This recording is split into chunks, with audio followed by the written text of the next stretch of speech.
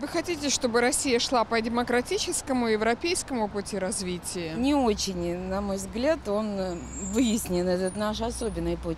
Поэтому, но мне бы хотелось видеть в каком-либо избранном пути больше наклона в социализацию государства. Я думаю, что свой. Почему? Потому что европейские нет. Там у них законы такие, которые нам не подходят. Я считаю так, что азиатский вполне возможно. Мы не Европа, у нас свои ценности, свой, свой путь. И брать их пример нет смысла. Конечно, свой, наш, российский. Потому что менталитет российского человека никак не подходит ни к азиатскому, ни к европейскому стилю, я думаю. Русский человек с широкой душой, с чистотой взглядов. По демократическому, чтобы была возможность у всех людей высказывать свое мнение, чтобы была и оппозиция, и как бы и все имели возможность высказать свое мнение. Микс. И так, и так. Везде, везде хорошее есть. У нас есть наследие, ну, музыкальная школа, например. Это хорошо. У них там это платно.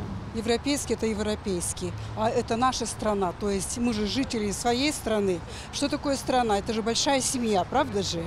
И в каждой семье есть свои традиции и свои пути как-то развития. Поэтому я так полагаю, что свой путь развития и только. Нет, там свой должен быть путь, конечно же, потому что то, что творится в Европе и то, что творится в Америке, это не демократия абсолютно. Россия неплохо развивается.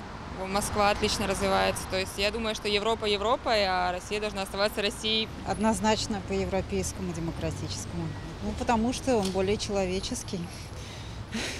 В Европе э, есть такая традиция, что о людях заботятся, заботятся о пенсионерах, заботятся о сиротах, заботятся о больных, заботятся о бездомных. Это, это выстроено там.